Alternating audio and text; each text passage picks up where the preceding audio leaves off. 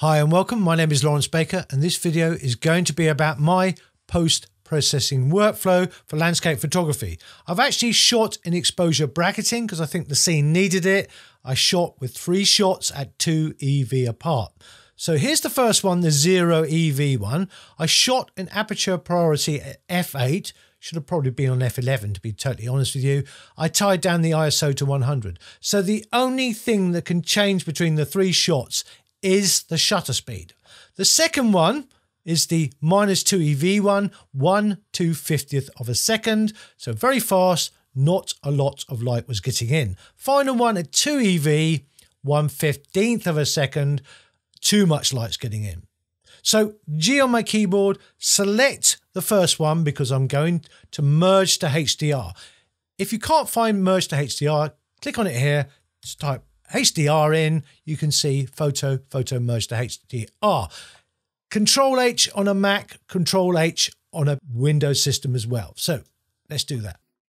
Auto align, pretty obvious. If the three shots weren't aligned, it would align them for you. I shot on a tripod. You could argue I don't need it, but by default, I keep it on. But if I'm shooting indoors and nothing's moving and I'm on a tripod, I probably won't tick it. Auto settings means auto tone on the merged HDR. Deghosting, obviously the sea is moving in these shots, so it's like a strength setting. You want a medium amount of deghosting to take place. What I would say is when this renders, you try none, low, medium, and high, because then you'll see if you need it or not. Show deghost overlay, that will show a red overlay. If you got it ticked, if you untick it, you won't see anything. Create stack, when it's created the merged HDR shot, it will stack them with the other three and there'll be four in the stack. The HDR image will be top of the stack. Also, you're creating a 32-bit image here. That's very important to understand. So there's the deghost overlay. Turn it on and off. Everything else, straightforward, merge. Now, these 32-bit images give you far more control in the develop module when you're moving the sliders. So it's to your advantage as well. A lot of people don't like HDR. I don't mind it in Lightroom because you have no control over the tone mapping. Tone mapping is taking a 32 bit image with a wide dynamic range that your eye or computer screen can't cope with and mapping it down to a smaller range. Simple as that. If you have control over that, you can ruin your image a lot. It just happens in Lightroom. We don't, but it's very nice. It's very subtle, so I quite like it. Right, here we are. There's the stack. The top one is the HDR. It's got HDR in the file name and it's .dng, digital negative. It's Adobe's proprietary RAW format. Click on that to expand the stack. So there's the three images. We're going to be working on this HDR DNG image. 32-bit, D on my keyboard. Basic panel, Command and Control 1. It's done Adobe Standard and Auto Tone. Hasn't done an auto white balance. Using the white balance tool, come out, find a neutral color, click down. That's not too bad. I quite like that actually. I might stay with it. Auto probably won't be that much difference because it was very warm. I needed cooling down. So uh, I'm probably going to stick with auto. That'll do. I'm not going to play around. That auto tone is not too bad but I want the shadows brought up a bit here. So I'm going to bring the shadows up quite a bit, right up to about plus 86. That'll do. I don't want any lack of reality. So as a HDR shot, it's quite all right as far as I'm concerned. The next thing, I'm probably going to bring the clarity up a little bit to around 20. I think that would be more than enough. I should be zoomed in and looking at stuff, at least at one to one. I like to zoom between four to one and fit. So that's my choice. So F7 will show that I'm going between 4 to 1 and fit. Uh, that's my choice. I think 1 to 1 will be fine, but I just prefer 4 to 1. So have I got any problems right now? I'm looking. I have got some purple fringing. So I want to get rid of that now, actually, with lens corrections and use the tool here and come out and sample that purple fringing and get rid of it by moving the amount slider. So it's got rid of that purple fringing. Just notice that by zooming in. So really, I was looking at the clarity. So back to basic, clarity slider. I'm just going to move it up to about 40 and see what I'm getting. It will brighten things up slightly because it's all about mid-tone contrast. And I think around 36 is too much. So around 25 is going to do me. Z or Z to zoom back out again. You can use the space bar, but if you're inside a tool, Z or Z will always work. Dehaze a tiny amount because it shifts colours. Bring the vibrance up a small amount to plus 23 and saturation up to about plus 14. In fact, I might even take it down a bit. Click inside, down arrow to about plus 8 and maybe plus 22. Also, I point out here, if you like very warm images, moving that over there will cause that. It's entirely up to you, but I prefer that bluey look. What else do I need to do? I need to put a graduated filter on. M on my keyboard, Shift key pressed and kept pressed, drag down two thirds of the way into the image. I have a preset called Standard Sky. It's far too blue. I'm going to move it up to about plus seven there or seven. So it's going, going warmer basically. Tint, no, I don't think I need any. Exposure down at 1.02. Um, I've got to be careful I don't get banding on that sun. So I'm going to bring that up a little bit. Um, I'm being very careful with exposure here because if I bring it down, you'll see that band appear and I don't want that banding. So I'm going to put it, I'll double click on exposure, put zero, click inside and use a down arrow to go down a bit. That's as far as I'm going to go. And a tiny amount on the highlights as well, just to bring it down because I don't want any banding.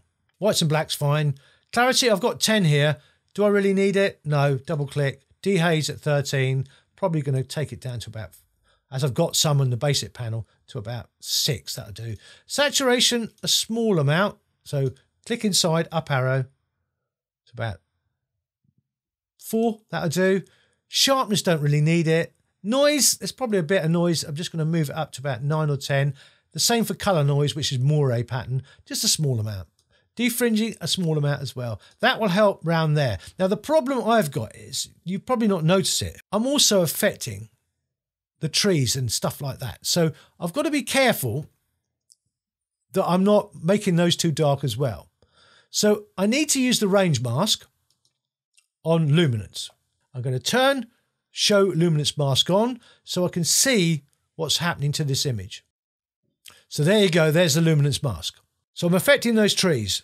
How do I stop that? Bring the range up so I'm only affecting the brighter pixels. And that will start around 60 around there.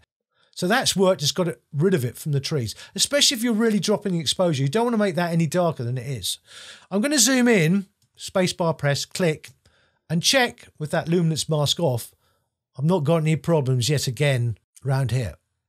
It looks okay. I'm accepting that. I think that's fine. A tiny amount there. I could probably try and get rid of that with the defringe slider a little bit more. Maybe I should try that as well. It's not as effective as the lens correction panel, but anyway, I've done it. So I'm going to close on that because I think I'm not affecting those trees, so everything's fine. Z or Z to zoom back out. So I've done my graduated filter. The only thing I need to do now, once it's rendered on screen, is the sharpening before I go into Photoshop to remove that rucksack there and amongst other things. Right, so here we are, detail, Command Control 5 to open up that panel.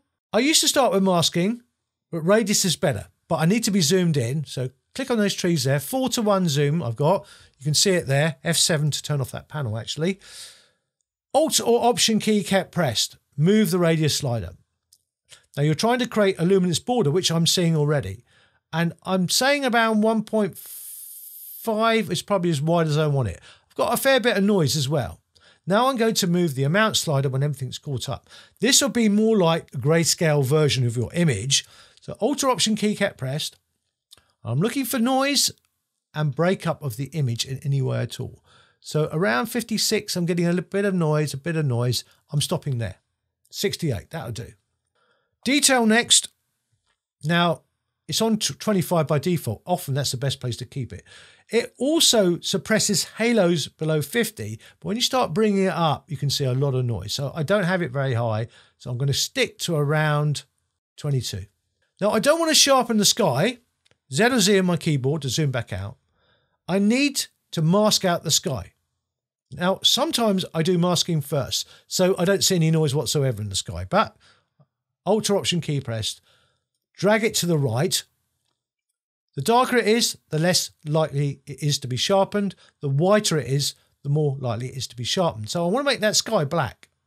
I don't want to sharpen the luminance noise because sharpening will accentuate luminance noise. So across around sort of around there, around 70 is working for me. I'm going to leave that sharpening as it is. I am going to zoom back in again though, so I can see any luminance noise. And I can't see much, but I'm going to move the luminance slider with the Alt Option key pressed so I can see what's going on a little bit. And that might allow me to move up the amount slider here a little bit as well. Because amount is like the contrast dial. So I'm looking all the time here thinking, I'll probably over sharpened it. Actually, I'm going to bring it back down a little bit. I'm looking for noise, and do you know something? I can see hardly any on 15. Detail will preserve the sharpening in the detail areas, which is inside of that part, for instance. And contrast is about the, the edges here. It's on 50 by default. I recommend you leave it as it is. That would be absolutely fine. Color noise is so rare. Leave it on those settings. It has the least effect of any sliders here, the color, detail, and smoothness. So I don't think I've got any problems with color noise.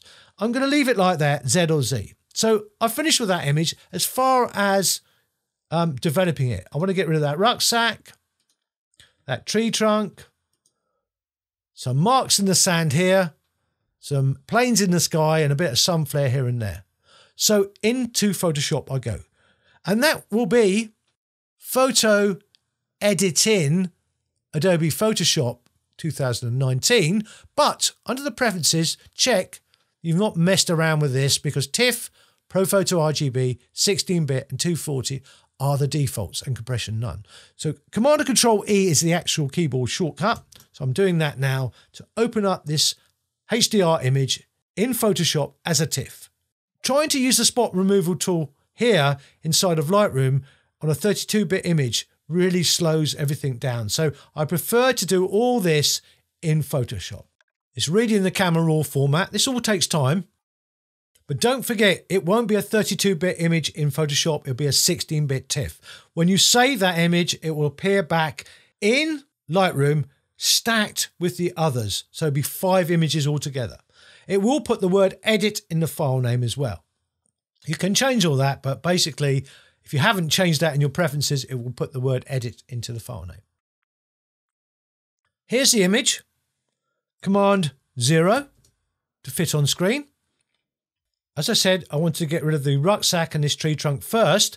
So I'm going to zoom in, Z on my keyboard, scrubby zoom tick, drag from top left to bottom right to zoom in on that. Keep zooming in and go over there. I'm going to make that a bit smaller actually. Alt Option key pressed and kept pressed. Just click out and you'll be coming out with the zoom tool. Now, there's something called Content Aware Fill. It was already available under Edit fill, it'll be grayed out because we haven't got a selection, content aware there. But now there's a new content aware workspace in 2019 release. So I need to make a selection first. I'm going to use the lasso very roughly to go around this. I'm using my mouse, not my Wacom tablet today. So very roughly around this to, to get rid of this rucksack and tripod bag. That'll do. I'm going to use the Alt key quickly to tidy it up, to take some stuff away and I think I might have gone too close to add in with the shift key pressed. That'll do. Edit, content aware fill, new in 2019. Click. It will try and get rid of this straight away. And I know what's going to happen basically. It will zoom in on that right hand one in a minute when it's all caught up.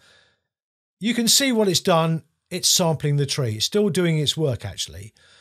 On the left hand side here, spacebar pressed to drag away. Basically, it's selecting or using the trees. Anything in green is going to be used to fill this area here. So we need to paint it away. The brush tool here, B, is always on minus by default. You can paint away those trees so it won't be using that in the sample. I'm just going to go command minus to make it a bit smaller. So I'm going to paint away roughly, big brush, right hand square bracket key going now. So I'm not picking any of that tree area there. So over the top, got to be careful. Don't touch anything there. I also don't want it to be picking the sand. So I'm going to take that away as well. If I quickly want to add something back in, I can just press the Alt Option key and it goes to plus there. You can see that. So that for me looks okay. I'm going to look in here with a bit more zoom. And I think it looks okay. It's not perfect, but it's okay. I might paint that back in. Alt there, just to paint that back in. See if it helps in any way at all. Um, I might just paint around there as well. Alt Option key pressed, just around there, so. I think that looks okay. I'm quite happy with that. Okay, I'm not going to explain this. Just remember, paint away the green. Anything in green's used for sampling. If you paint it away, it can't be used. Okay, so it's done its job. I'm quite happy with that. Command and Control D to lose the marching ants or the selection. It's not perfect, but it's okay.